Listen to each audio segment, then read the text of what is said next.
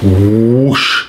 Hallo, seid gegrüßt und herzlich willkommen hier in meiner kleinen Schaltzentrale, wo ich so die meiste Zeit des Tages verbringe.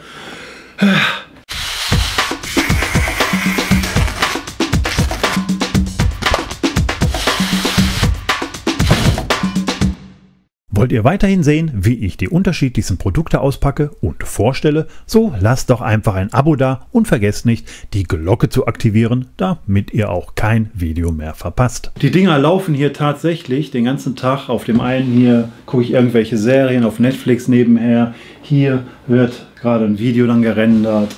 Hier werden schon mal wieder die Thumbs gebastelt und auf dem anderen gucke ich, was so im Netz passiert, beziehungsweise aktualisiere entsprechend. Äh, ja, bin im Moment recht viel am Basteln, vor allem auch für den Gaming-Kanal. Da kommen ja täglich Videos auf Ich packe aus, passiert so einiges. Da habe ich ziemlich reingeklotzt in letzter Zeit.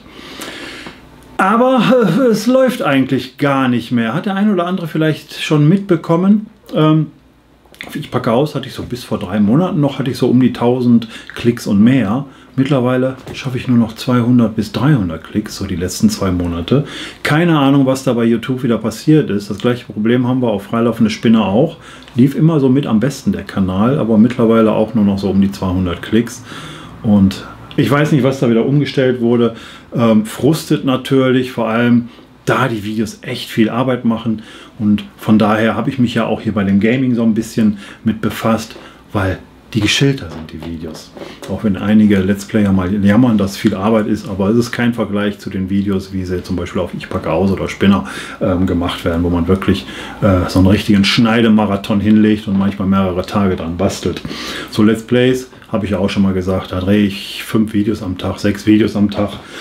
Das ist dann kein Problem und beim Schneiden muss man da auch nicht viel machen.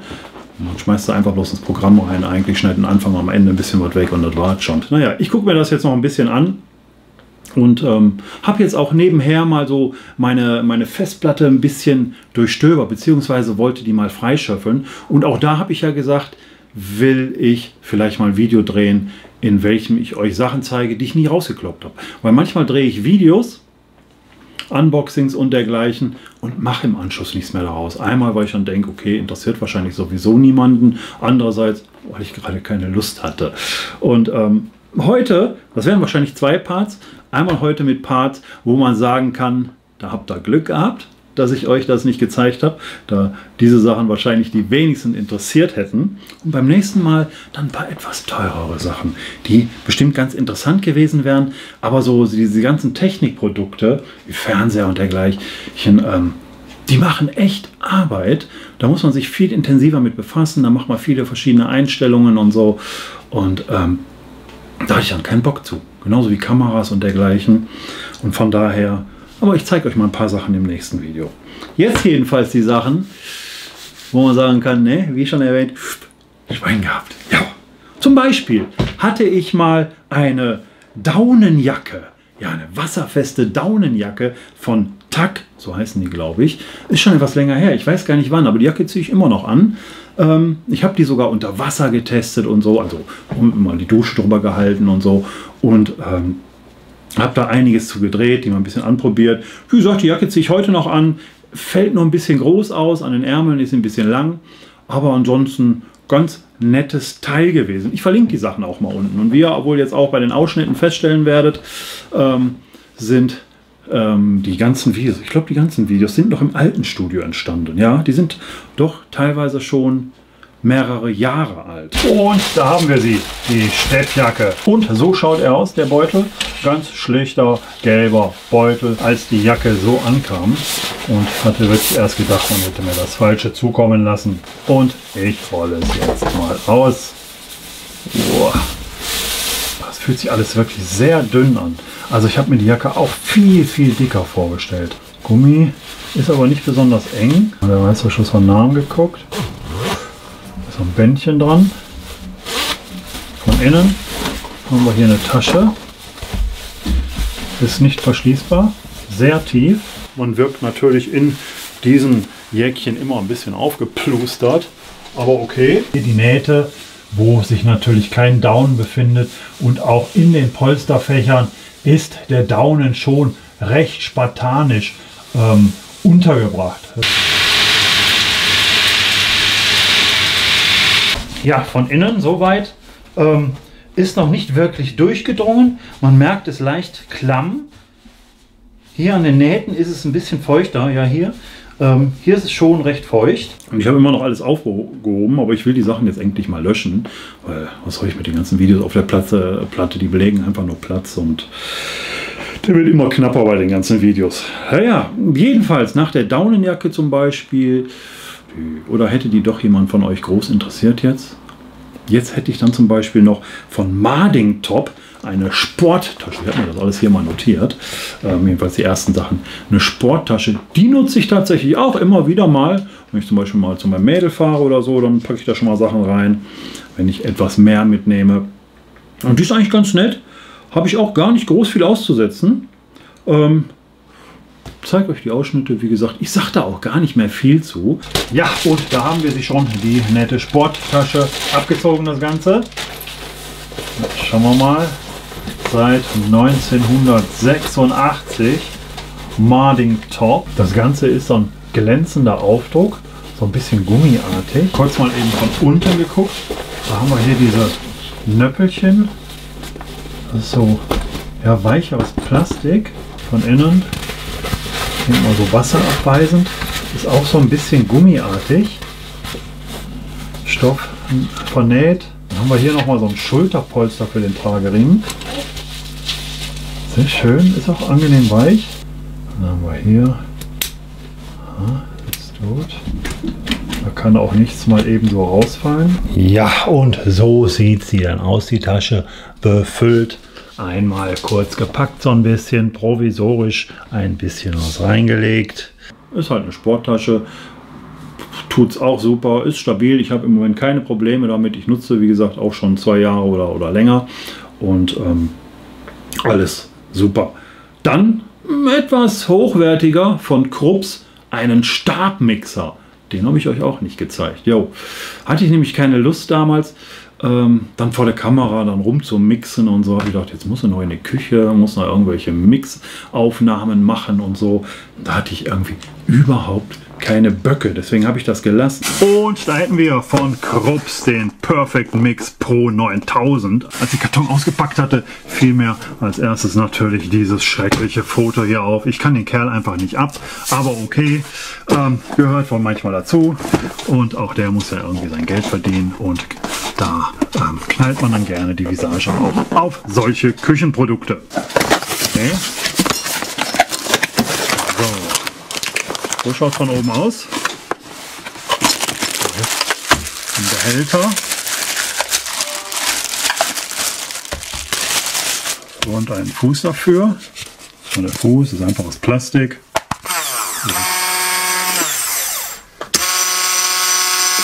Also nicht wirklich laut. Haben wir noch Turbo.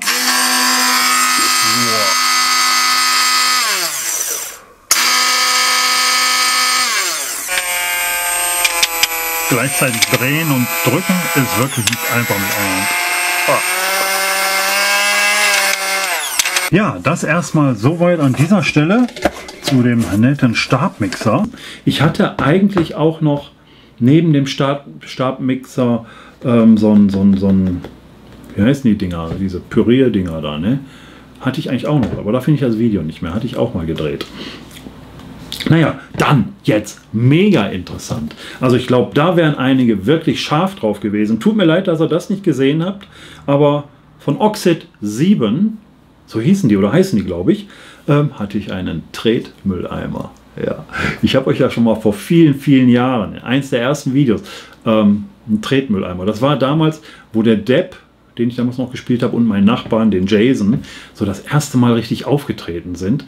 Und ich glaube, das war sogar auch so ein Halloween-Special. Ne? Ja, stimmt, das war, glaube ich, ein Halloween-Special. Und in diesem hatte ich euch so gagmäßig diesen grünen Tretmülleimer vorgestellt, der immer noch bei mir in der Küche steht. Und jetzt hatte ich dann mal von Oxid 7 einen silbernen Tretmülleimer. Hatte ich auch alles gefilmt und so, aber dann irgendwie gedacht, na, wird wohl keinen interessieren. Und von daher habe ich das auch wieder verworfen. Und da hätten wir ihn von Oxid 7, den 20 Liter Tretmülleimer.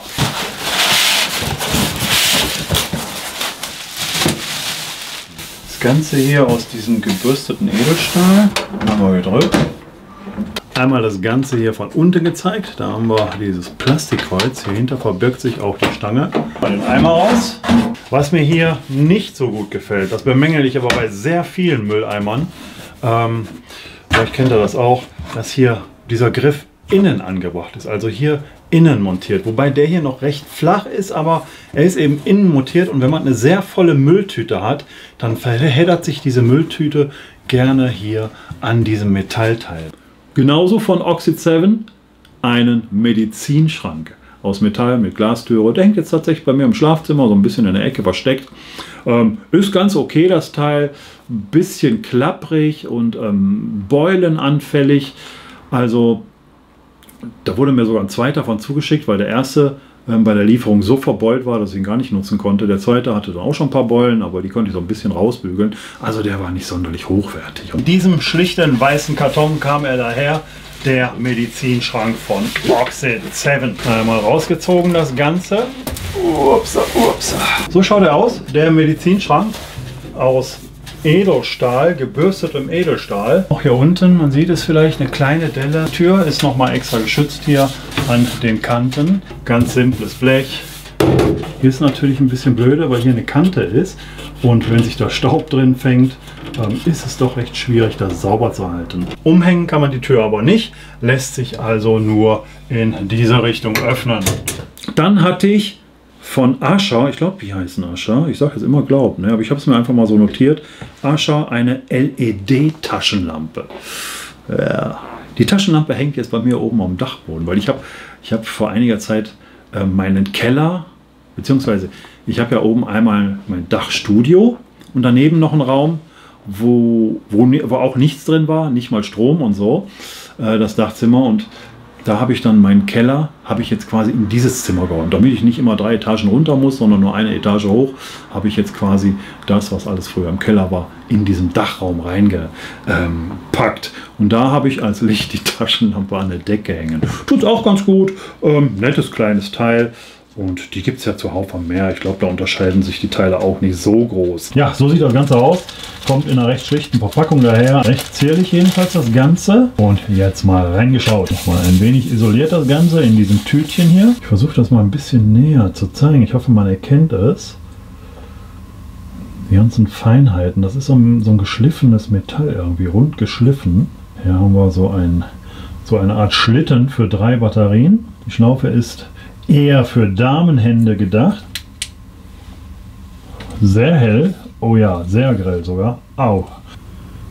Keine Farbverfälschungen oder so. Kein gelblicher Schimmer.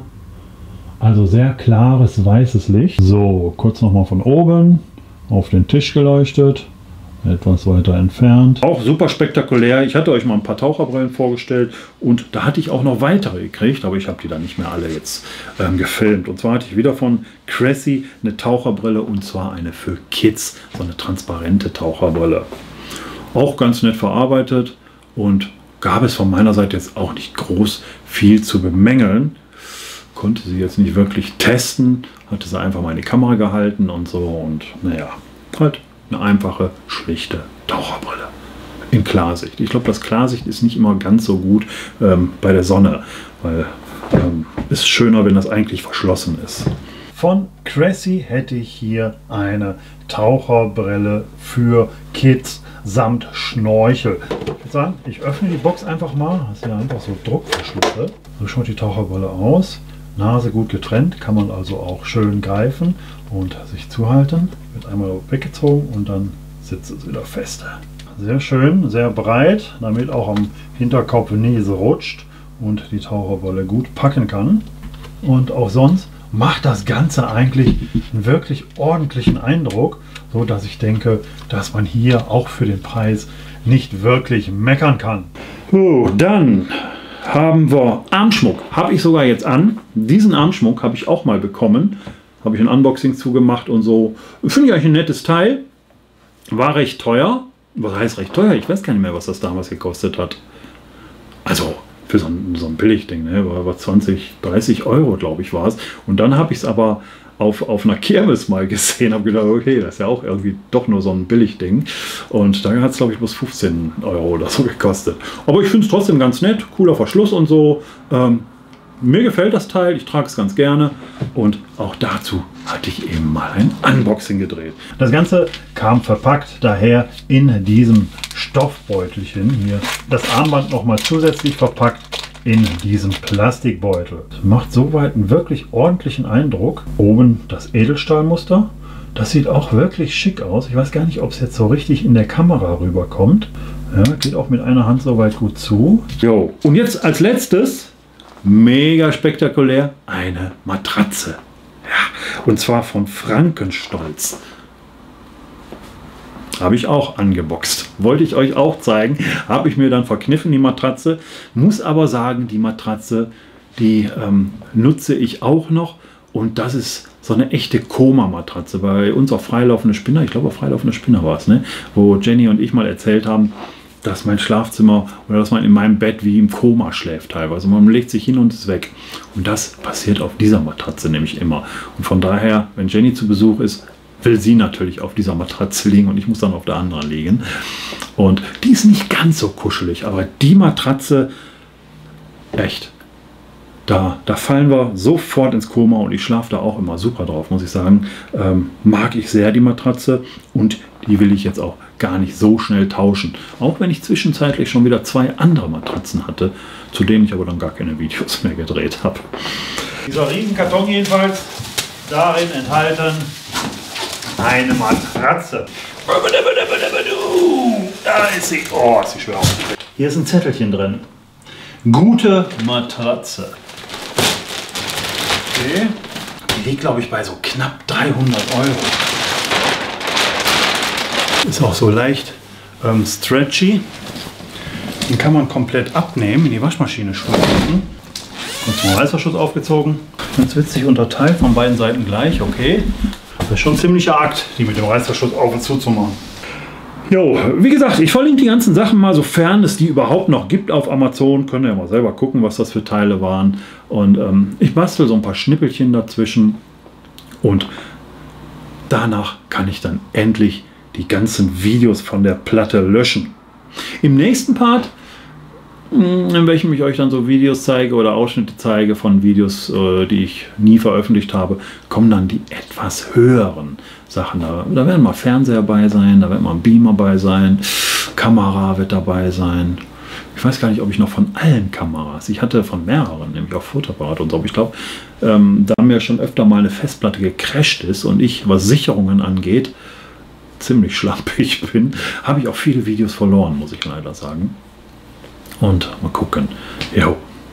Ja, wie geht es jetzt weiter auf Ich packe aus? Ansonsten, ähm, auch wenn mich das im Moment ziemlich runterzieht und ich mich daher am liebsten. Ich habe übrigens, erinnert ihr euch noch, ich hatte mal ähm, diese, diese Leuchtstreifen hier, diese LED-Lichtstreifen, hatte ich euch mal vorgestellt. Da habe ich ja einen im Wohnzimmer angebracht, im Fernseher. Der ist da immer noch.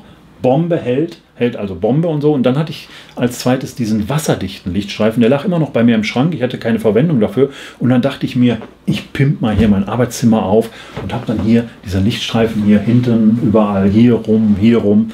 Aber der Kleber an dem Ding ist total scheiße. Der löst sich unentwegt. Und von daher muss ich mal gucken, ob ich mir doch einen anderen Lichtstreifen hole. Weil ich bin die immer hier wieder am Nachdrücken, weil die wupp, kommen die wieder runter, die blöde, die blöde Lichterkette da. Ähm, was soll ich sonst sagen? Achso, wie es weitergeht auf Ich packe aus. Ja, zieht einen natürlich runter. Vor allem sind das jetzt auf Ich packe aus ähm, ähm, halt Videos, auf denen ich Produkte vorstelle. Und wenn sich niemand für die Produkte interessiert, dann, dann gibt es für mich natürlich auch keinen Sinn, ähm, groß da Videos überhaupt noch zu, zu machen. Und von daher, ich werde das erstmal weiter durchziehen. Ich habe noch genug Produkte auf äh, oben rumliegen. Ähm, wird als nächstes wieder eine Maus geben und so. Dann habe ich hier so einen kleinen Nescafé Krups Kaffeeautomaten, wo gerade die Kamera drauf steht. Der ist heute noch angekommen. Und noch verschiedene andere Sachen ähm, werden da kommen. Vielleicht auch wieder ein bisschen Spielzeug, da jetzt kurz vor Weihnachten oder jetzt, wenn es auf Weihnachten zugeht, da bekomme ich immer einiges an Spielzeug und da liegt auch schon wieder so ein bisschen was vor äh, rum. Wo habe ich eigentlich Ich hatte, ah, habe ich gar nicht hier, ich hatte auch so lustige Wrestling-Action-Figuren bekommen. Naja, aber da kenne ich überhaupt nicht mehr die aktuellen Wrestler. Ähm, ansonsten, jo, gerade ins Haus geflattert.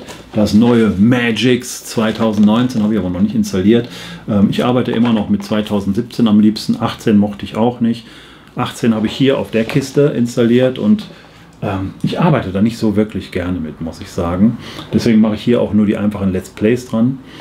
Und ähm, das friert leider auch sehr häufig ein. Also es friert gerade beim Rendern sehr häufig ein. 17 habe ich jetzt auf der Kiste, wo ich am meisten arbeite. Ähm, und da habe ich keine Updates mehr gemacht. Das habe ich auf 17 gelassen, weil Magix löscht ja immer komplett, was ich auch hasse. Ähm, dann kann man nämlich alle Einstellungen wieder von vorne machen, die ganzen Ordner wieder äh, vergeben und so. Zum Kotzen ist das jedes Mal. Und jedenfalls habe ich hier, ähm, vermeide ich es, 17 abzudaten. Und da das einfach bei mir gut läuft und ich da nichts mehr verändern will, da ich da auch die Oberfläche lieber mag als bei 18 und bei 19 muss ich jetzt auch gucken, da wird sich nicht viel verändern. Äh, ja, muss ich mal gucken, aber dazu mache ich jetzt keine Videos. Ähm, ansonsten, wie gesagt, Spielzeug habe ich noch, aber ähm, interessiert natürlich jetzt auch nicht so. Aber da nicht viel los ist, mache ich natürlich auch die Dinge, die mir wenigstens noch ein bisschen Spaß machen. Und mal gucken. Mal gucken jedenfalls, wie es weitergeht. Ich weiß nicht, was bei YouTube passiert ist, dass die Aufrufe derart runtergegangen sind, dass die Videos ähm, wirklich kaum noch über 300 Klicks schaffen. Und auch, wie gesagt, auch bei Spinner ist das Gleiche. Ist alles zum gleichen Zeitpunkt passiert, vor, vor knapp zwei Monaten, glaube ich. Da gab es dann diesen extremen Bruch und da passierte gar nichts mehr. Und keine Ahnung, woran es liegt. Ich, ich hoffe noch, dass sich das wieder ein bisschen ändert, dass noch Schub kommt, aber wenn nichts mehr passiert, dann muss ich mir echt was einfallen lassen, beziehungsweise ich will auch gar nicht groß jammern, aber dann muss ich wahrscheinlich hier auf Ich packe aus den Stecker ziehen, ja. Weil ähm, dann mache ich lieber die ganz bequemen, easy Sachen wie ein bisschen Let's Play nebenher oder mein ASMR, ein bisschen was lesen. Das ist nicht viel Aufwand alles und das kann man so geschillt mal machen. Aber diesen Stress dann sich anzutun jedes Mal und es passiert nichts, das ist immer blöde. Jo. Na gut, das jedenfalls mit, meinem, mit meiner kleinen Zusammenfassung von ungenutzten oder unveröffentlichten Produkten. Ja. So, und jetzt werde ich gleich direkt mal. Schneide ich das erst? Ich schneide das erst, ja. Und dann suche ich die anderen Produkte raus, die ich noch so finden kann. Ich habe auch noch, im Wohnzimmer habe ich auch noch eine Festplatte, glaube ich. Muss mal gucken. Jo, jo. Ja, gut. Ich hoffe, euch geht es sonst gut, ne? Könnt ihr auch mal wieder Hallo sagen und so, ne? Und welche Produkte, ja, sagt mal, welche Produkte davon euch eigentlich interessiert hätten. Vielleicht war ja da tatsächlich was bei, was euch interessiert hat. Ja. Naja, okay. Ich mache jetzt hier weiter, ne? Von daher, mach's gut, bis die Tage und ciao.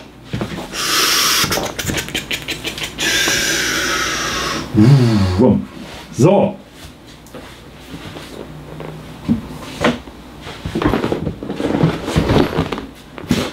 Ach so, ich sitze ja hier immer noch auf dem Stuhl, habe ich ja ein paar Sachen bemängelt, aber mittlerweile habe ich mich so angefreundet mit dem Stuhl, muss ich sagen.